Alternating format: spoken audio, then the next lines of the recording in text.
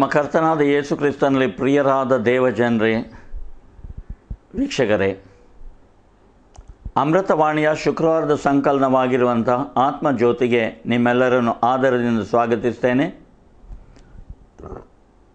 ಕರ್ತನ ಬರೋಣದ ವಿಷಯವಾದಂಥ ಅನೇಕ ರೀತಿಯ ದೃಷ್ಟಿ ನೋಟಗಳನ್ನು ದೇವರ ವಾಕ್ಯದ ಆಧಾರದ ಮೇರೆಗೆ ನಿಮ್ಮ ಮುಂದೆ ಹಲವು ವಾರಗಳಿಂದ ನಾನು ಹಂಚಿಕೊಂಡು ಬಿತ್ತರಿಸಿ ಬರ್ತಾ ಇದ್ದೇನೆ. ಇವತ್ತು ಎರಡು ವಿಷಯಗಳನ್ನು ಒಟ್ಟಿಗೆ ಸೇರಿಸಿ ಅವುಗಳ ವ್ಯತ್ಯಾಸದ ಮೂಲಕವಾಗಿ ನಮ್ಮ ಪರಿಜ್ಞಾನವು ಇನ್ನೂ ಹೆಚ್ಚಾಗುವಂತೆ ನಿಮ್ಮ ಮುಂದೆ ಈ ವಿಚಾರವನ್ನು ಇಡಲಿಕ್ಕೆ ಇಷ್ಟಪಡ್ತೇನೆ. ಉದಾಹರಣೆ, ಕಳೆದ ಸಾರಿ ನಾವು ನೋಡಿದೆವು, ನಮ್ಮ ಕರ್ತನಾದ ಯೇಸು ತನ್ನ ಬರೋಣದ ವಿಷಯವಾಗಿ ಯುಗದ ಅಂತ್ಯದ ವಿಷಯವಾಗಿ ಲೋಕದ ಜನರನ್ನು ತನ್ನವರು ಎಂಬುದಾಗಿ ಸೇರಿಸುವ ವಿಷಯದಲ್ಲಿ ಆತನು ಬರುತ್ತಾನೆ ಎಂಬ ದಿವಸಕ್ಕೆ ಈ ಲೋಕದಿಂದ ಎತ್ತಲ್ಪಡುವ ಜನರ ವಿಷಯದಲ್ಲಿ ಅನೇಕ ಸಂಗತಿಗಳನ್ನು ಹಂಚಿಕೊಂಡಿದ್ದೇನೆ. ಇವತ್ತು ಎರಡು ವಿಚಾರಗಳನ್ನು ಎದುರು ಬದುರಾಗಿ ಇಟ್ಟುಕೊಂಡು ಇವುಗಳ ವಿಷಯವಾಗಿ ಕರ್ತನ ಮೂಲಕವಾಗಿ ಪ್ರತಿಯೊಬ್ಬರೂ ನಾವು ಇದನ್ನು ಗ್ರಹಿಸಿ ಆತನ ಆದರಣೆಯನ್ನು ಪಡೆಕೊಳ್ಳುವಂತೆ ಈ ವಿಚಾರವನ್ನು ನಿಮ್ಮ ಮುಂದೆ ಇಡಲಿಕ್ಕೆ ಇಷ್ಟಪಡ್ತೇನೆ. ಅದೇನೆಂದರೆ, ಮತ್ತಾಯನ ಬರೆದ ಸುವಾರ್ತೆ ಇಪ್ಪತ್ತೈದನೇ ಸಂಧಿಯಲ್ಲಿ ಹತ್ತು ಕನ್ನಿಕೆಯರ ವಿಷಯವಾಗಿ ಬರೆದಿದೆ. ಈ ಹತ್ತು ಕನ್ನಿಕೆಯರಲ್ಲಿ ಐದು ಮಂದಿ ಎಣ್ಣೆ ದೀಪದೊಂದಿಗೆ ತೆಗೆದುಕೊಂಡವರು, ಇನ್ನು ಉಳಿದವರು ದೀಪ ತಗೊಂಡಿದ್ದಾರೆ, ಎಣ್ಣೆ ಇಲ್ಲ. ಹಾಗಾದರೆ ಆ ವಚನ ಹೀಗೆ ಹೇಳ್ತದೆ. ಅದನ್ನು ಮೊದಲು ಓದಲಿಕ್ಕೆ ಇಷ್ಟಪಡ್ತೇನೆ.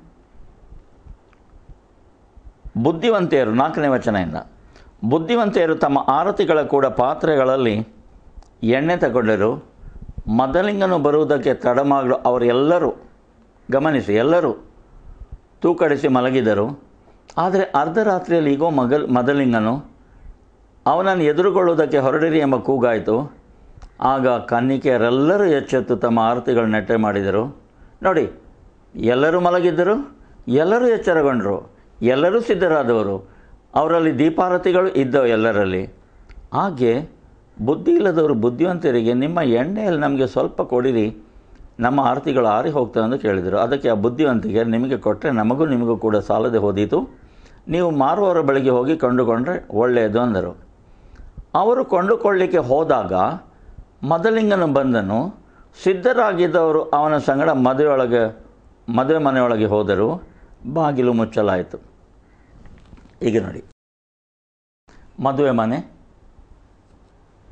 ದೇವರ ರಾಜ್ಯವು ತಂದೆಯಾದ ದೇವರು ತನ್ನ ಮಗನ ಮದುವೆಗಾಗಿ ಸಿದ್ಧ ಮಾಡಿದ್ದ ಔತಣದ ಒಂದು ವಿಚಾರವನ್ನು ಕೂಡ ನಮ್ಮ ಮುಂದೆ ಇಟ್ಟು ದೇವರ ವಾಕ್ಯವನ್ನು ಕೊಟ್ಟಿದ್ದಾನೆ. ಮಾತ್ರವಲ್ಲ, ಕರ್ತನ ಬರೋಣದ ದಿವಸ ಇಬ್ಬರು ಹಾಸಿಗೆಯ ಮೇಲೆ ಮಲಗಿರುವರು ಒಬ್ಬನು ತೆಗೆಯಲ್ಪಡೋನು ಒಬ್ಬನು ಬಿಡಲ್ಪಡೋನು ಅದು ಲೂಕನ್ ಬರೆದ ಸುವಾರ್ತೆಯ ಹದಿನೇಳನೇ ಸಂಧಿ, ಮೂವತ್ತ್ನಾಲ್ಕನೇ ವಚನ ಬರೆದಿದೆ.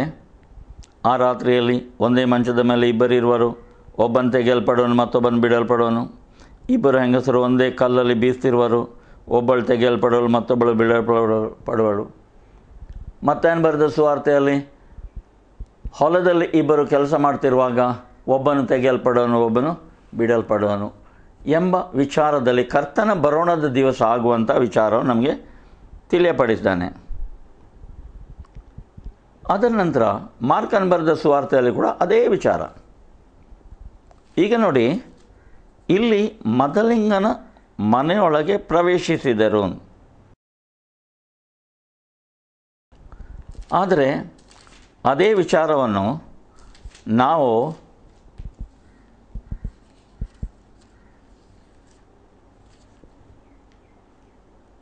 ದೇವರ ವಾಕ್ಯದ ಆಧಾರದ ಮೇರೆಗೆ ಇನ್ನು ಬೇರೆ ಕಡೆಗಳು ನೋಡುವಾಗ, ದಯಮಾಡಿ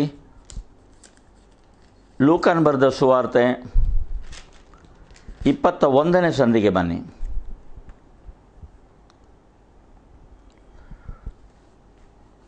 ಇಪ್ಪತ್ತೊಂದನೇ ಸಂಧಿ, ಮೂವತ್ತ್ನಾಲ್ಕನೇ ವಚನ. ನಿಮ್ಮ ವಿಷಯದಲ್ಲಿ ಜಾಗರೂಕರಾಗಿರಿ. ಅತಿ ಭೋಜನದ ಮದಡಿನಿಂದಲೂ, ಅಮಲ್ನಿಂದಲೂ, ಪ್ರಪಂಚ ಚಿಂತೆಗಳಿಂದಲೂ ನಿಮ್ಮ ಹೃದಯಗಳು ಭಾರವಾಗಿರಲಾಗಿ, ಆ ದಿವಸವು ನಿಮ್ಮ ಮೇಲೆ ಉರ್ಲಿನಂತೆ ಪಕ್ಕನೆ ಬಂದೀತು. ಆ ದಿವಸ, ಆ ದಿವಸವು ಭೂನಿವಾಸಿಗಳೆಲ್ಲರ ಮೇಲೆ ಬರುವುದು. ಆದರೆ ಬರುವುದಕ್ಕಿರುವ ಇವೆಲ್ಲವುಗಳಿಂದ ತಪ್ಪಿಸಿಕೊಳ್ಳುವುದಕ್ಕೂ ಮನುಷ್ಯಕುಮಾರನ ಮುಂದೆ ನಿಂತುಕೊಳ್ಳುವುದಕ್ಕೂ ನೀವು ಪೂರ್ಣ ಶಕ್ತರಾಗುವಂತೆ ಎಲ್ಲ ಕಾಲದಲ್ಲಿಯೂ ದೇವರಿಗೆ ವಿಜ್ಞಾಪನೆ ಮಾಡಿಕೊಳ್ಳುತ್ತಾ ಎಚ್ಚರವಾಗಿರಿ. ಪ್ರಿಯರೇ, ಇದನ್ನು ನಾವು ಗಮನಿಸತಕ್ಕದ್ದು ನಾವು ದೇವರ ವಾಕ್ಯದಲ್ಲಿ ಅನೇಕ ಸಂಗತಿಗಳನ್ನು ಹೀಗೆ ಗಮನಿಸ್ತೇವೆ. ಇದೇ ವಿಚಾರವನ್ನು ಲೂಕನ್ ಬರೆದ ಸುವಾರ್ತೆ ಹದಿನೆರಡನೇ ಸಂಧಿಯಲ್ಲಿ ಮೂವತ್ತೈದನೇ ವಚನ, ಮೂವತ್ತೈದು, ಮೂವತ್ತಾರು, ಮೂವತ್ತೇಳು ವಚನಗಳಲ್ಲಿ ಓದುವ, ನಿಮ್ಮ ನಡುಗಳು ಕಟ್ಟಿರಲಿ, ನಿಮ್ಮ ದೀವಟಿಕೆಗಳು ಉರಿಯುತ್ತಾ ಇರಲಿ, ನೀವಂತೂ ತಮ್ಮ ಯಜಮಾನು ಬಂದು ತಟ್ಟಿದ ಕೂಡಲೇ ಕದವನ್ನು ತೆಗೆಯುವುದಕ್ಕೆ ಸಿದ್ಧವಾಗಿದ್ದು, ಮದುವೆ ಊಟವನ್ನು ಯಾವಾಗ ತೀರಿಸಿಕೊಂಡು ಬರುವನೋ ಅಂದು ಅವನನ್ನು ಎದುರು ನೀಡುತ್ತಿರುವ ಮನುಷ್ಯರಂತಿರಿ. ಯಜಮಾನ ಬಂದು ಯಾವ ಆಳು ಎಚ್ಚರವಾಗಿರುವುದನ್ನು ಕಂಡುಕೊಳ್ಳುವನೋ? ಆ ಆಳುಗಳೇ ಧನ್ಯರು. ಪ್ರಿಯರೇ, ಈ ಎರಡು ವಚನಗಳ ನಡುವೆ ಇರುವಂಥ ವ್ಯತ್ಯಾಸವನ್ನು ಗಮನಿಸ್ತೀರೋ? ಮತ್ತಾಯನ್ ಬರೆದ ಸುವಾರ್ತೆ ಇಪ್ಪತ್ತನೇ ಸಂಧಿಯಲ್ಲಿ ಏನು ಹೇಳಿದೆ ಸಿದ್ಧರಾದಂಥ ದೀವಟಿಗೆಗಳು ಯಾರ ದೀವಟಿಗೆಗಳು ಉರಿಯುತ್ತಿದ್ದವೋ ಅವರು ಮದುವೆ ಮನೆಯೊಳಕ್ಕೆ ಹೋದರು. ಆದರೆ ಲೂಕನ್ ಬರೆದ ಸುವಾರ್ತೆ ಹನ್ನೆರಡನೇ ಸಂಧಿಯ ಮೂವತ್ತೈದು, ಮೂವತ್ತಾರು, ಮೂವತ್ತೇಳು ವಚನದಲ್ಲಿ, ನಿಮ್ಮ ನಡುಗಳು ಕಟ್ಟಿರಲಿ, ನಿಮ್ಮ ದೀವಟಿಕೆಗಳು ಉರಿಯುತ್ತಾ ಇರಲಿ, ನೀವಂತೂ ತಮ್ಮ ಯಜಮಾನನು ಬಂದು ತಟ್ಟಿದ ಕೂಡಲೇ ಕದವನ್ನು ತೆರೆಯುವುದಕ್ಕೆ ಸಿದ್ಧರಾಗಿದ್ದು ಮದುವೆ ಊಟವನ್ನು ಯಾವಾಗ ತೀರಿಸಿಕೊಂಡು ಬರುವನೋ ಎಂದು ಅವನನ್ನು ಎದುರು ನೋಡುತ್ತಿರುವ ಮನುಷ್ಯರು. ಮೊದಲಿದ್ದು ನೋಡಿ, ಒಳಗೆ ಪ್ರವೇಶಿಸುವಾಗ ಆತನೊಂದಿಗೆ ಪ್ರವೇಶಿಸಲಿಕ್ಕೆ ಯೋಗ್ಯರೆಂದು ಕಂಡು ಬಂದವರು. ಈಗ ಇಲ್ಲಿ ನೋಡುವಾಗ ಮದುವೆ ಊಟ ಮುಗಿಸಿ ಬರುವಾಗ ಎಚ್ಚರಿಕೆಯಿಂದ ಕಾಯುವವರು. ಮೊದಲಾಗಿ ಈ ವ್ಯತ್ಯಾಸವನ್ನು ನಾನು ಮನಗಂಡಾಗ ನನಗೆ ಏನಾಯಿತು? ನಮ್ಮ ಕರ್ತನಾದ ಯೇಸು ಬರೋಣ ದಿವಸ ರ್ಯಾಪ್ಚರ್ ಅಥವಾ ಆತನಿಗೆ ಎತ್ತಲ್ಪಡುವಿಕೆ, ಆ ದಿವಸ ಮದುವೆ ಊಟಕ್ಕೆ ಪ್ರವೇಶಿಸುವಂಥ ಒಂದು ಚಿತ್ರಣ. ಆದರೆ ಇಲ್ಲಿ ಲೂಕನ್ ಬರೆದ ಹನ್ನೆರಡನೇ ಸಂದಿಯಲ್ಲಿ ನಡುಗಳು ಕಟ್ಟಿರಲಿ ನಿಮ್ಮ ದೀವಟಿಗಳು ಉರಿಯುತ್ತಾ ಇರಲಿ. ನೀವಂತೂ ತಮ್ಮ ಯಜಮಾನ ಬಂದು ತಟ್ಟಿದ ಕೂಡಲೇ ಕದವನ್ನು ತೆರೆಯಲು. ಹಾಗಾದರೆ ಇದಕ್ಕೂ ಅದಕ್ಕೂ ವ್ಯತ್ಯಾಸ ಇದೆಯಾ? ಈ ಒಂದು ವಿಚಾರವು ನನ್ನ ಮನಸ್ಸಿನಲ್ಲಿ ಬಂದಿತ್ತು. ಪ್ರಿಯರೇ, ಪವಿತ್ರಾತ್ಮನ ಮೇಲೆ ಆತುಕೊಂಡು ನೀವು ಸಹ ಇಂಥ ಚಿಂತನೆಗೆ ಅವಕಾಶ ಕೊಟ್ಟು ಪವಿತ್ರಾತ್ಮನ ಮೂಲಕವಾಗಿ ನಿಮಗೆ ಸಿಕ್ಕುವಂಥವರನ್ನು ಪಡ್ಕೊಳ್ಳಿರಿ ಎಂಬಂಥ ಒಂದು ಆದರಣೆಯ ಮಾತನ್ನು ನಿಮಗೆ ನಾನು ಈ ಮೂಲಕವಾಗಿ ಕೊಡ್ತೇನೆ. ನನಗೆ ಬಂದಂತೆ ಅದು ನಿಮಗೆ ಬರಬೇಕಾಗಿಲ್ಲ. ನಿಮ್ಮ ಸಂಬಂಧದಲ್ಲಿ ಕರ್ತ ನಿಮಗೆ ಆತ್ಮನ ಮೂಲಕವಾಗಿ ಹೇಗೆ ಹೇಗೆ ತೆಗೆದುಕೊಳ್ತಾನೋ ಆ ರೀತಿಯಲ್ಲಿ ನೀವು ಆಶೀರ್ವಾದ ಹೊಂದಿರಿ. ಆದರೆ ಇದೇ ಇಪ್ಪತ್ತೈದನೇ ಸಂಧಿಯಲ್ಲಿ ಮೂವತ್ತೊಂದನೇ ವಚನದಿಂದ ಇನ್ನೊಂದು ವಿಚಾರವು ನಮಗೆ ನಮ್ಮ ಮುಂದೆ ಇಡಲ್ಪಟ್ಟಿದೆ. ಮತ್ತೇನು ಬರೆದ ಸುವಾರ್ತೆ ಇಪ್ಪತ್ತೈದು, ಮೂವತ್ತೊಂದರಿಂದ, ಮನುಷ್ಯ ಕುಮಾರನ ತನ್ನ ಮಹಿಮೆಯಿಂದ ಎಲ್ಲ ದೂತರೊಡನೆ ಕೂಡಿ ಬರುವಾಗ, ತನ್ನ ಮಹಿಮೆಯ ಸಿಂಹಾಸನದಲ್ಲಿ ಕೂತ್ಕೊಳ್ಳುವನು ಮತ್ತು ಎಲ್ಲ ದೇಶಗಳ ಜನರು ಆತನ ಮುಂದೆ ಕೂಡಿಸಲ್ಪಡುವರು. ಈಗ ನೋಡಿ, ಮೊದಲು ಆತನ ಬರುವಾಗ ಸಿದ್ಧರಾಗಿದ್ದಂಥ ಹತ್ತು ಮಂದಿಯಲ್ಲಿ ಐದು ಮಂದಿ ಒಳಗೆ ಪ್ರವೇಶಿಸಿದರು, ಐದು ಮಂದಿ ಹೊರಗೆ ಬಿಡಲ್ಪಟ್ಟರು. ಆದರೆ ಇಲ್ಲಿ ಮನುಷ್ಯಕುಮಾರ್ ತನ್ನ ಮಹಿಮೆಯಿಂದ ಎಲ್ಲ ದೂತರೊಡನೆ ಕೂಡಿ ಬರುವಾಗ ತನ್ನ ಮಹಿಮೆಯ ಸಿಂಹಾಸನದಲ್ಲಿ ಕೂತ್ಕೊಳ್ಳುವನು ಮತ್ತು ಎಲ್ಲ ದೇಶಗಳ ಜನರು ಆತನ ಮುಂದೆ ಕೂಡಿಸಲ್ಪಡುವರು. ಕುರುಬನು ಆಡುಗಳನ್ನು, ಕುರಿಗಳನ್ನು ಬೇರೆ ಬೇರೆ ಮಾಡುವ ಪ್ರಕಾರ ಆತನು ಅವರನ್ನು ಬೇರೆ ಬೇರೆ ಮಾಡಿ ಕುರಿಗಳನ್ನು ತನ್ನ ಬಲಗಡೆಯಲ್ಲಿ, ಆಡುಗಳನ್ನು ಎಡಗಡೆಯಲ್ಲಿ ನಿಲ್ಲಿಸುವನು. ಆಗ ಅರಸನು ತನ್ನ ಬಲಗಡೆಯಲ್ಲಿರುವವರಿಗೆ, ಅಂದರೆ ಕುರಿಗಳಿಗೆ, ನನ್ನ ತಂದೆಯ ಆಶೀರ್ವಾದ ಹೊಂದಿದವರೇ ಬನ್ನಿರಿ. ಲೋಕಾದಿಂದ ನಿಮಗೋಸ್ಕರ ಸಿದ್ಧ ಮಾಡಿದ ರಾಜ್ಯವನ್ನು ಸ್ವಾಸ್ಥ್ಯವಾಗಿ ತೆಗೆದುಕೊಳ್ಳ್ರಿ. ನಾನು ಹಸಿದಿದ್ದೆನು, ನನಗೆ ಊಟ ಕೊಟ್ರಿ. ನಾನು ಬಾಯರಿದ್ದೆ, ನನಗೆ ಹಿ ಕುಡಿಯುವುದಕ್ಕೆ ಕೊಟ್ರಿ. ಪರದೇಶಿಯಾಗಿದ್ದನು ನನ್ನನ್ನು ಸೇರಿಸಿಕೊಂಡ್ರಿ. ಬಟ್ಟೆ ಇಲ್ಲದವನಾಗಿದ್ದೆ, ನನಗೆ ಉಡುವುದಕ್ಕೆ ಕೊಟ್ರಿ. ರೋಗದಲ್ಲಿ ಬಿದ್ದಿದ್ದೆ, ನನ್ನನ್ನು ಆರೈಕೆ ಮಾಡುವುದಕ್ಕೆ ಬಂದಿರಿ. ಸೆರೆಮನೆಯಲ್ಲಿದ್ದೇನು ನನ್ನ ನೋಡುವುದಕ್ಕೆ ಬಂದಿರಿ ಎಂದು ಹೇಳುವನು. ಅದಕ್ಕೆ ಆ ನೀತಿವಂತರು, ಸ್ವಾಮಿ, ಯಾವಾಗ ನೀನು ಹಸಿದಿದ್ದನ್ನು ಕಂಡು ನಿನಗೆ ಊಟ ಕೊಟ್ಟೆವು? ಇಲ್ಲವೇ? ನೀನು ಬಾರಿದನ್ನು ಕಂಡು ಕುಡಿಯ ಕೊಟ್ಟೆವು. ಯಾವಾಗ ನೀನು ಪರದೇಶಿಯಾಗಿರುವುದನ್ನು ಕಂಡು ಸೇರಿಸಿಕೊಂಡೆವು? ಇಲ್ಲವೇ? ನಿಮಗೆ ಬಟ್ಟೆ ಇಲ್ಲದನ್ನು ಕಂಡು ಉಡುವುದಕ್ಕೆ ಕೊಟ್ಟೆವು. ಯಾವಾಗ ನೀನು ರೋಗದಲ್ಲಿ ಬಿದ್ದದನ್ನು ಅಥವಾ ಸೆರೆಮನೆಯಲ್ಲಿ ಇದ್ದದನ್ನು ಕಂಡು ನಿಮ್ಮನ್ನು ನೋಡುವುದಕ್ಕೆ ಬಂದೆವು ಎಂದು ಉತ್ತರವಾಗಿ ಹೇಳುವರು. ಅದಕ್ಕೆ ಅರಸನು, ಈ ನನ್ನ ಸಹೋದರರಲ್ಲಿ ಕೇವಲ ಅಲ್ಪನಾದವನಿಗೆ ಏನೇನು ಮಾಡಿದಿರೋ ಅದನ್ನು ನನಗೂ ಮಾಡಿದ ಹಾಗಾಯಿತು ಎಂದು ನಿಮಗೆ ಸತ್ಯವಾಗಿ ಹೇಳ್ತೇನೆ, ಅನ್ನುವರು. ಆಮೇಲೆ, ಆತನು ಎಡಗಡೆಯಲ್ಲಿರುವವರಿಗೆ, ಶಾಪಗ್ರಸ್ತರೇ, ಮೊದಲನವರಿಗೆ ಆಶೀರ್ವಾದ ಹೊಂದಿದವರೇ, ಈಗ ಎರಡನೇವರಿಗೆ ಶಾಪಗ್ರಸ್ತರೇ. ನನ್ನನ್ನು ಬಿಟ್ಟು ಪಿಶಾಚನಿಗೂ ಅವನ ದೂತರಿಗೂ ಸಿದ್ಧ ಮಾಡಿರುವ ನಿತ್ಯ ಬೆಂಕಿಯೊಳಗೆ ಹೋಗಿರಿ. ನಾನು ಹಸಿದಿದ್ದೇನು, ನೀ ನಮಗೆ ಊಟ ಕೊಡಲಿಲ್ಲ? ನಾನು ಬಾಯರಿದ್ದೇನೆ ನೀವು ನನಗೆ ಕುಡಿಲಿಕ್ಕೆ ಕೊಡಲಿಲ್ಲ ಪರದೇಶಿಯಾಗಿದೆ ನೀವು ನನ್ನನ್ನು ಸೇರಿಸಿಕೊಳ್ಳಲಿಲ್ಲ, ಬಟ್ಟೆ ಇಲ್ಲದವನಾಗಿ ನನಗೆ ಉಡುವುದಕ್ಕೆ ಕೊಡಲಿಲ್ಲ, ರೋಗದಲ್ಲಿ ಬಿದ್ದಿದ್ದೇನು, ಸೆರೆಮನೆಯಲ್ಲಿದ್ದೇನು ನೀವು ನನ್ನನ್ನು ಆರೈಕೆ ಮಾಡುವುದಕ್ಕೆ ಬರಲಿಲ್ಲವೆಂದು ಹೇಳುವನು. ಅದಕ್ಕೆ ಅವರು ಸಹ, ಸ್ವಾಮಿ, ಯಾವಾಗ ನೀನು ಹಸಿದ್ದನು, ನೀನು ಬಾರಿದ್ದನು, ನೀನು ಪರದೇಶಿಯಾಗಿದ್ದನು, ಬಟ್ಟೆ ಇಲ್ಲದವನಾಗಿದ್ದನು, ರೋಗದಲ್ಲಿ ಬಿದ್ದಿದ್ದನು, ಸೆರೆಮನೆಯಲ್ಲಿದ್ದದನ್ನು ಕಂಡು ನಿಮಗೆ ಉಪಚಾರ ಮಾಡದೆ ಹೋದೆ ಅನ್, ಅನ್ನುವರು. ಆಗ ಆತನು, ನೀವು ಈ ಕೇವಲ ಅಲ್ಪವಾದರಲ್ಲಿ ಒಬ್ಬನಿಗೆ ಏನೇನು ಮಾಡದೆ ಹೋದಿರೋ ಅದನ್ನು ನನಗೂ ಮಾಡದೆ ಹೋಗ ಹಾಗಾಯಿತು ಎಂದು ನಿಮಗೆ ಸತ್ಯವಾಗಿ ಹೇಳ್ತೇನೆ ಅನ್ನುವನು. ಇವರು ನಿತ್ಯ ಶಿಕ್ಷೆಗೂ ನೀತಿವಂತರು ನಿತ್ಯ ಜೀವಕ್ಕೂ ಹೋಗುವರು. ಪ್ರಿಯರೇ, ಇಲ್ಲಿ ನೋಡಿ ಇಪ್ಪತ್ತನೇ, ಇಪ್ಪತ್ತೈದನೇ ಸಂಧಿಯಲ್ಲಿ ಮತ್ತಾಯನ ಬರೆದ ಸಂಗತಿಯಲ್ಲಿ ಮೂರು ಸಂಗತಿಗಳು ಉಂಟು. ಒಂದರಿಂದ ಹಿಡ್ಕೊಂಡು ಹದಿಮೂರನೇ ಸಂಗತಿ ತನಕ ಸಿದ್ಧರಿದ್ದಂಥ ಕನ್ನಿಕೆಯರು ದೀವಟಿಕೆಗಳನ್ನು ಉರಿಸಿಕೊಂಡು ಒಳಗೆ ಪ್ರವೇಶಿಸಿದರು. ಯಾರಲ್ಲಿ ಎಣ್ಣೆ ಇಲ್ವೋ ಅವರು ಹೊರಗೆ ಉಳಿದರು. ಅದರ ನಂತರ ಹದಿನಾಲ್ಕನೇ ಸಂಧಿಯಿಂದ ಒಂದು ವಿಶೇಷವಾದ ಚಿಂತನೆ. ದೇಶಾಂತರಕ್ಕೆ ಹೋಗುವ ಮನುಷ್ಯನು ತನ್ನ ಆಳುಗಳನ್ನು ಕರೆದವರಿಗೆ ತನ್ನ ಆಸ್ತಿಯನ್ನು ಒಪ್ಪಿಸಿಕೊಟ್ಟಂತಿರುವುದು. ಅವನು ಒಬ್ಬನಿಗೆ ಐದು ತಾಲೆಂತ ಒಬ್ಬನಿಗೆ ಎರಡು ತಾಲೆಂತ ಮತ್ತೊಬ್ಬನಿಗೆ ಒಂದು. ಹೀಗೆ ಅವಮಾನ ಅವನವನ ಸಾಮರ್ಥ್ಯದ ಪ್ರಕಾರ ಕೊಟ್ಟು ಬೇರೊಂದು ದೇಶಕ್ಕೆ ಹೋದನು. ಐದು ತಾಲೆಂತ್ ಹೊಂದಿದವನು ಹೋಗಿ ಅದನ್ನು ವ್ಯಾಪಾರಕ್ಕೆ ಹಾಕಿ ಇನ್ನೂ ಐದು ತಾಲೆಂತನ್ನು ಗಳಿದನು ಹಾಗೆ ಎರಡು ತಾಲೆಂತ್ ಹೊಂದಿದವನು ಇನ್ನೂ ಎರಡು ಸಂಪಾದಿಸಿಕೊಂಡನು.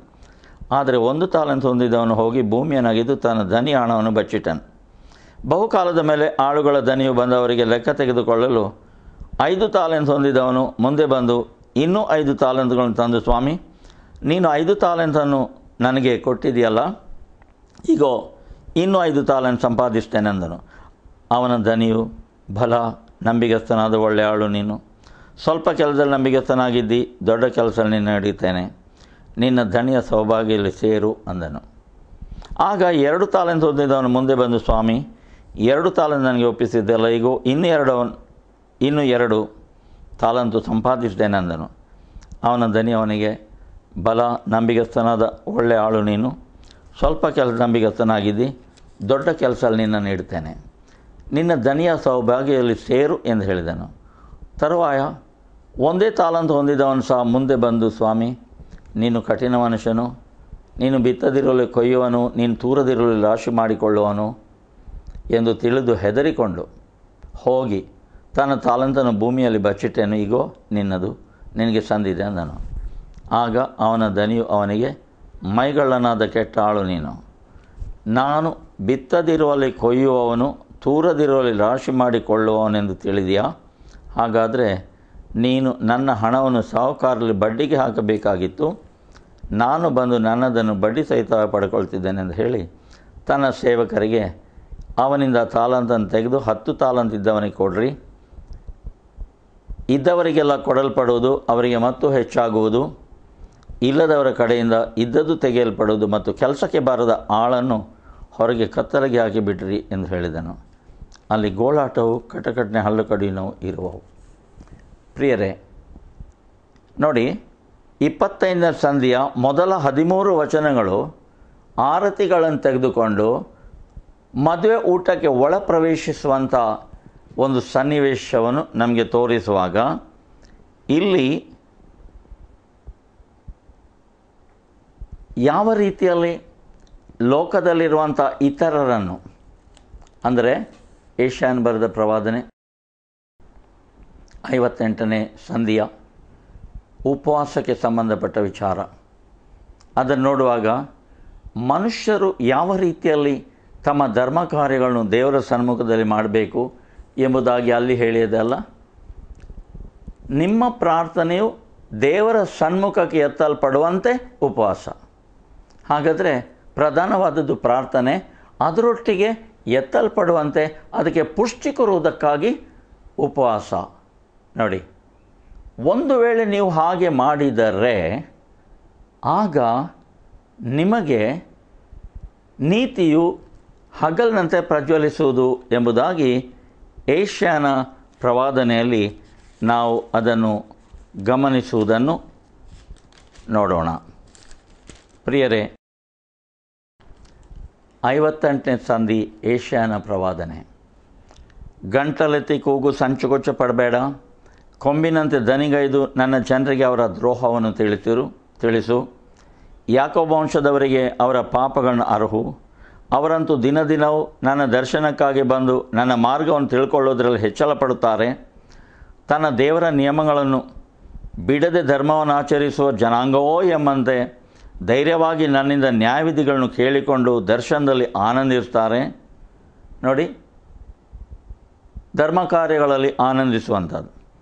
ನಾವು ಉಪವಾಸ ಮಾಡಿದ್ದೇವೆ, ನೀನು ಯಾಕೆ ಕಟಾಕ್ಷಿಸುವುದಿಲ್ಲ? ನಮ್ಮ ಆತ್ಮವನ್ನು ಕುಂದಿಸಿಕೊಂಡಿದ್ದೇವೆ ನೀನು ಗಮನಿಸುವುದಿರುವುದು ಯಾಕೆ ಅಂದುಕೊಳ್ತಾರೆ? ಈಗೋ ನಿಮ್ಮ ಉಪವಾಸದ ದಿನದಲ್ಲಿಯೂ ನಿಮ್ಮ ನಿತ್ಯ ಕೆಲಸವನ್ನು ನಡೆಸಿ, ನಿಮ್ಮ ಆಳುಗಳನ್ನು ದುಡಿತ ಕಳೆಯುತ್ತೀರಿ. ನೋಡಿರಿ, ನಿಮ್ಮ ಉಪವಾಸದ ಫಲವೇನೆಂದರೆ ವ್ಯಾಜ್ಯ, ಕಲಹ, ಕೇಡಿನ ಗುದ್ದು, ಇವುಗಳೇ. ನೀವು ಈಗ ಮಾಡುವ ಉಪವಾಸವು ನಿಮ್ಮ ಪ್ರಾರ್ಥನೆಯನ್ನು ಉನ್ನತ ಲೋಕಕ್ಕೆ ಮುಟ್ಟಿಸತಕ್ಕದ್ದಲ್ಲ. ಈ ವಚನ ಏನು ಹೇಳ್ತದೆ? ಒಂದು ವೇಳೆ ನಾವು ಧರ್ಮ ಕಾರ್ಯಗಳನ್ನು ಮಾಡುವಾಗ ನಮ್ಮ ಪ್ರಾರ್ಥನೆಗೆ ಪುಷ್ಟಿ ಅಥವಾ ಬಲ ಮತ್ತು ಪರಿಪೂರ್ಣತೆ ಸಿಕ್ಕುವಂತೆ ಉಪವಾಸ ಮಾಡಿದರೆ ಅದರಿಂದ ಪ್ರಯೋಜನ ಉಂಟು. ಐದನೇ ವಚನ. ಮನುಷ್ಯನ ತನ್ನ ಆತ್ಮವನ್ನು ಕುಂದಿಸಿಕೊಳ್ಳುವುದಕ್ಕಾಗಿ ನಾನು ನೇಮಿಸಿದ ಉಪವಾಸ ದಿನ ಇಂಥದ್ದು. ಒಬ್ಬನು ಜೊಂಡಿನಂತೆ ತಲೆಯನ್ನು ಬಗ್ಗಿಸಿಕೊಂಡು ಗೋಣಿ ತಟ್ಟನ್ನು ಬೂದಿಯನ್ನು ಆಸನ ಮಾಡಿಕೊಳ್ಳುವುದು ಯಹೋವನಿಗೆ ಸಮರ್ಪಕವಾದ ಉಪವಾಸ ಅನ್ನುತ್ತೀರೋ? ನೋಡಿರಿ. ಕೇಡಿನ ಬಂಧಗಳನ್ನು ಬಿಚ್ಚುವುದು ನೊಗದ ಕಣ್ಣಿಗಳನ್ನು ಕಳಚುವುದು, ಜಜ್ಜಿ ಹೋದವರನ್ನು ಬಿಡುಗಡೆ ಮಾಡುವುದು, ನೊಗಗಳನ್ನೆಲ್ಲ ಮುರಿಯುವುದು, ಹಸಿದವರಿಗೆ ಅನ್ನವನ್ನು ಹಂಚುವುದು, ಅಲೆಯುತ್ತಿರುವ ಬಡವರನ್ನು ಮನೆಗೆ ಬರಮಾಡಿಕೊಳ್ಳುವುದು, ಬತ್ತಲೆಯಾದವರನ್ನು ಕಂಡಾಗೆಲ್ಲ ಅವರಿಗೆ ಹೊದಿಸುವುದು, ನಿನ್ನಂತೆ ನರನಾಗಿರುವ ಯಾವನಿಗೇ ಆಗಲಿ ಮುಖ ತಪ್ಪಿಸಿಕೊಳ್ಳದಿರುವುದು, ಇವುಗಳೇ ನನಗೆ ಇಷ್ಟವಾದ ಉಪವಾಸ ವ್ರತವಲ್ಲವೇ ಇದನ್ನು ಆಚರಿಸುವ ನಿಮಗೆ ಬೆಳಕು ಉದಯದಂತೆ ಭೇದಿಸಿಕೊಂಡು ಬರುವುದು, ನಿಮ್ಮ ಕ್ಷೇಮವು ಬೇಗನೆ ವಿಕಸಿಸುವುದು, ನಿಮ್ಮ ಧರ್ಮವು ನಿಮಗೆ ಮುಂಬಲವಾಗಿ ಮುಂದರಿಯುವುದು, ಯಹೋವನ ಮಹಿಮೆಯು ನಿಮಗೆ ಹಿಂಬಲವಾಗಿರುವುದು. ಆಗ ನೀನು ಕೂಗಿದರೆ ಯಹೋವನು ಉತ್ತರ ಕೊಡುವನು, ಮೋರೆ ಇಟ್ಟು ಕರೆದರೆ ಈಗ ಇದ್ದೇನೆ ಅನ್ನುವನು, ನೀವು ನಿಮ್ಮ ಮಧ್ಯದೊಳಗಿಂದ ನೊಗವನ್ನು, ಬೆರಳ ಸನ್ನೆಯನ್ನು ಕೆಡುಕಿನ ನುಡಿಯನ್ನು ಹೋಗಲಾಡಿಸಿ, ನಿಮಗೆ ಪ್ರಿಯವಾದದನ್ನು ಹಸಿದವರಿಗೆ ಒದಗಿಸಿ, ಕುಗ್ಗಿದವರ ಆಶೆ ನೆರವೇರಿಸಿದರೆ, ಆಗ ನಿಮಗೆ ಕತ್ತಲಲ್ಲಿ ಬೆಳಕು ಉದಯಿಸುವುದು ನಿಮ್ಮ ಅಂಧಕಾರವು ಪರಿಹಾರವಾಗಿ ಮಧ್ಯಾಹ್ನವಾಗುವುದು ಮತ್ತು ಯಹೋ ನಿಮ್ಮನ್ನು ನಿತ್ಯವೂ ನಡೆಸುತ್ತಾ ಮರುಭೂಮಿಯಲ್ಲಿಯೂ ನಿಮ್ಮ ಆತ್ಮವನ್ನು ತೃಪ್ತಿಗೊಳಿಸು, ಗೊಳಿಸಿ ನಿಮ್ಮ ಎಲುಬುಗಳನ್ನು ಸಸಾರ ಮಾಡುವನು. ನೀವು ತಂಪಾದ ತೋಟಕ್ಕೂ ನೀರಿಗೆ ಮೋಸವಿಲ್ಲದ ಬುಗ್ಗೆಗೂ ಸಮಾನವಾಗುವಿರಿ. ನಿಮ್ಮ ಸಂತಾನದವರು ಪುರಾತನದ ಕಾಲದಲ್ಲಿ ಹಾಳಾದ ನಿವೇಶನಗಳನ್ನು ತಿರುಗಿ ಕಟ್ಟುವರು. ನೀವು ತಲತರಾಂತರಗಳಿಂದ ಪಾಳು ಬಿದ್ದಿರುವ ಅಸ್ಥಿವಾರಗಳ ಮೇಲೆ ಕಟ್ಟಡಗಳನ್ನು ಎಬ್ಬಿಸುವಿರಿ. ಬಿದ್ದ ಗೋಡೆಯನ್ನು ಹಾಕುವ ಜನಾಂಗ, ಹಾದಿಗಳನ್ನು ಹಾದಿಗಳನ್ನು ತಿರುಗಾಡುವ ಸ್ಥಿತಿಗೆ ತರುವ ಜನಾಂಗ ಎಂಬಿ ಬಿರುತುಗಳು ನಿಮಗುಂಟಾಗುವವು. ಪ್ರಿಯರೇ ಈಗ ಮತ್ತಾಯನ ಬರೆದ ಸುವಾರ್ತೆಯ ಇಪ್ಪತ್ತೈದನೇ ಸಂಧಿಯ ಮೂವತ್ತ ಒಂದರಿಂದ ನಲವತ್ತಾರನೇ ವಚನ ತನಕ ಬರೆದದ್ದು ಏಷ್ಯಾನ ಪ್ರವಾದನೆಯ ಐವತ್ತ ಎಂಟನೇ ಸಂಧಿಯಲ್ಲಿ ಧರ್ಮಕಾರ್ಯವಾದ ಉಪವಾಸ ಮತ್ತು ಪ್ರಾರ್ಥನೆ ಇವುಗಳನ್ನು ಮಾಡುವುದು ಹೋಲಿಕೆ ಇಲ್ಲವೋ? ಅದೇ ಸಮಯದಲ್ಲಿ ನಾವು ಮತ್ತ ಇಪ್ಪತ್ತೈದು ಹದಿನೈ ಹದಿನಾಲ್ಕರಿಂದ ಮೂವತ್ತನೇ ವಚನವನ್ನು ಕೂಡ ಗಮನಿಸುವ. ನಮಗೆ ಒಂದು ಜವಾಬ್ದಾರಿಯನ್ನು ಕೊಟ್ಟು ಕರ್ತನು ಹೋಗಿದ್ದಾನೆ. ಪಾವಲನ್ನು ನಮ್ಮ ವಿಷಯವಾಗಿ ಎರಡು ಕುರಿತ ಹನ್ನೊಂದನೇ ಸಂಧಿಯ ಭಾಗಗಳಲ್ಲಿ ನಮಗೆ ಹೇಳಿದ್ದು, ನಿಮ್ಮನ್ನು ನಾನು ಕರ್ತ ಯೇಸುವಿನಿಗೆ ಯೇಸುವಿಗೆ ಎಂಗೇಜ್ಡ್ ಅಥವಾ ಗೊತ್ತು ಮಾಡಿದ್ದೇನೆ. ಈಗ ರಕ್ಷಣೆ ಪಟ್ಟಂಥ ದೇವಜನರು ಎರಡನೇ ಕೊರಿಂತ ಹನ್ನೊಂದನೇ ಸಂಧಿಯಲ್ಲಿ ಪಾವಲನ್ ಹೇಳುವಂತೆ, ಕ್ರಿಸ್ತನೆಂಬ ಒಬ್ಬನೇ ಪುರುಷನಿಗೆ ಶುದ್ಧ ಕನ್ಯೆಯಂತೆ ಒಪ್ಪಿಸಬೇಕೆಂದು ನಿಮ್ಮನ್ನು ಆತನಿಗೆ ನಿಶ್ಚಯ ಮಾಡಿಕೊಂಡನಲ್ಲ ಎಂಬುದಾಗಿ ಪಾವಲನ್ ಹೇಳುವಾಗ, ಕ್ರಿಸ್ತನ ಸೇವಕರು ಇದೇ ರೀತಿಯಲ್ಲಿ ದೇವಜನರನ್ನು ಶುದ್ಧ ಕನ್ನಿಕೆಯೋಪಾದಿಯಲ್ಲಿ ತಯಾರು ಮಾಡಬೇಕು. ಯಾವುದಕ್ಕೆ? ಆತನ ಬರೋಣದ ದಿವಸ ಎಣ್ಣೆ ಇದ್ದವರಾಗಿ ಮದುವೆ ಪ್ರಸ್ಥಕ್ಕೆ ಪ್ರವೇಶಿಸುವಂತೆ. ಆದರೆ ಲೂಕನ್ ಬರೆದ ಸುವಾರ್ತೆ ಹನ್ನೆರಡನೇ ಸಂಧಿಯಲ್ಲಿ ನಾವು ನೋಡಿದ್ದೆವು. ಅದು ಬೇರೆ ಒಂದು ಪರಿಸ್ಥಿತಿ. ಅಲ್ಲಿ ಏನುಂಟು? ಅವನು ಅಲ್ಲಿಂದ ಹೊರಗೆ ಬರುವಾಗ ಮದುವೆ ಊಟವನ್ನು ಮುಗಿಸಿ ಬರುವಾಗ ಆತನು ತಟ್ಟಿದ ಕೂಡಲೇ ಬಾಗಿಲು ತೆರೆಯುವುದಕ್ಕೆ ಈ ಎರಡು ಸಂಗತಿಗಳಲ್ಲಿ ನನಗೆ ಒಂದು ವ್ಯತ್ಯಾಸವಾದ ವಿದ್ಯಮಾನ ನನಗೆ ಅಲ್ಲಿ ಗಮನಕ್ಕೆ ಬಂದಿದೆ. ಪ್ರಿಯರೇ, ನನಗೆ ಅದು ಹಾಗೆ ಗಮನಕ್ಕೆ ಬಂದಿದೆ ಅಂತ ಹೇಳಿದ ಕೂಡಲೇ ನೀವು ಸಹ ಹಾಗೆ ಗಮನಕ್ಕೆ ತನ್ನಿರಿ ಅಂತೇಳಿ ನಾನು ಹೇಳುವುದಿಲ್ಲ. ಯಾವ ರೀತಿಯಲ್ಲಿ ಪವಿತ್ರಾತ್ಮ ನನಗೆ ಇದ್ದಾನೋ ನನ್ನನ್ನು ಮಾರ್ಗದರ್ಶನ ನಡೀಲಿಕ್ಕೆ ನಿಮಗೂ ಕೂಡ ಇದ್ದಾನೆ. ಒಂದು ವೇಳೆ ಇನ್ನೊಂದು ವ್ಯತ್ಯಾಸವಾದ ರೀತಿಯಲ್ಲಿ ಅದು ನಿಮಗೆ ತೋರಿಸ್ತಾನಾದರೆ, ದಯಮಾಡಿ ನೀವು ಆತನ ಮಾರ್ಗದರ್ಶನಕ್ಕೆ ಬದ್ದರು ಈಗ ಮೊದಲನೇದ್ದು ಅಂದರೆ, ಲೂಕನ್ ಬರೆದ ಸುವಾರ್ತೆ ಹನ್ನೆರಡನೇ ಸಂಧಿಯಲ್ಲಿ ಬರೆದದ್ದು ಅಂದರೆ, ಮದುವೆ ಊಟ ತೀರಿಸಿಕೊಂಡು ಬರುವಂಥ ಸ್ಥಿತಿ. ಮತ್ತು ಮದುವೆ ಊಟಕ್ಕೆ ಒಳಗೆ ಪ್ರವೇಶಿಸುವ ಸ್ಥಿತಿ. ಇದು ವ್ಯತ್ಯಾಸವಾದ ಎರಡು ಪರಿಸ್ಥಿತಿಗಳು ಎಂಬುದಾಗಿ ನಾನು ಗುರುತಿಸುವಂತಾಗಿದೆ. ಅಂತೂ ಈ ಎರಡನೇದು, ಅಂದರೆ ಮದುವೆ ಊಟ ಮುಗಿಸಿ ಬರುವಂಥದ್ದು ನನಗೆ ಅನಿಸಿದ ಪ್ರಕಾರ ಮತ್ತೇನು ಬರೆದ ಸ್ವಾರ್ಥ ಹದಿನೈದನೇ ಸಂಧಿಯ ಮೂವತ್ತ ಒಂದರಿಂದ ನಲವತ್ತ ಆರಕ್ಕೆ ಸಂಬಂಧಪಟ್ಟದ್ದು ಎಂಬುದಾಗಿ ನಿಮ್ಮ ಮುಂದೆ ಇಡಲಿಕ್ಕೆ ನಾನು ಇಷ್ಟಪಡ್ತೇನೆ. ನಾನು ಅದನ್ನು ಅರಿಸಿಕೊಂಡದ್ದೇ ಸರಿ. ಅದಕ್ಕಿಂತ ವ್ಯತ್ಯಾಸವಾದ ಯಾವುದೇ ಸಂಗತಿಯನ್ನು ಯಾರೂ ಇಟ್ಟುಕೊಳ್ಳಬಾರದು ಎಂಬಂಥ ರೀತಿಯಲ್ಲಿ ನಾನು ಇದನ್ನು ಪ್ರಸನ್ನತಿದ್ದಿಲ್ಲ. ದಯಮಾಡಿ ಕರ್ತನ್ ನಿಮ್ಮನ್ನು ಯಾವ ರೀತಿಯಲ್ಲಿ ನಡೆಸ್ತಾನ, ಅದಕ್ಕೆ ನೀವು ಬದ್ಧರಾಗಿರಿ ಎಂಬುದಾಗಿ ಪ್ರಿಯರೇ, ನಾನು ನಿಮ್ಮನ್ನು ಕರ್ತನ ಕೈಗೆ ಒಪ್ಪಿಸಿಕೊಡ್ತೇನೆ. ಪ್ರತಿಯೊಬ್ಬನಿಗೆ ಅವನವನ ಪರಿಸ್ಥಿತಿಗೆ ತಕ್ಕಂತೆ ಕರ್ತ ನಡೆಸುವನಾಗಿದ್ದಾನೆ ನಾವು ಒಬ್ಬರು ಇನ್ನೊಬ್ಬರನ್ನು ಸನ್ಮಾನಿಸಿ, ಆಧರಿಸಿ, ಪ್ರೋತ್ಸಾಹಿಸಿ ಆತನ ಬರೋಣಕ್ಕೆ ಸಿದ್ಧರಾಗಬೇಕು ಎಂಬುದೇ ಹೊರತು ಬೇರೆ ಯಾವ ಉದ್ದೇಶವೂ ನಮಗೆ ಇಲ್ಲ. ಅದರಂತೆ ಕರ್ತ ನಿಮ್ಮನ್ನು ಬೆಳೆಸಿ ಆಶೀರ್ವದಿಸಲಿ. ಆಮೇಲೆ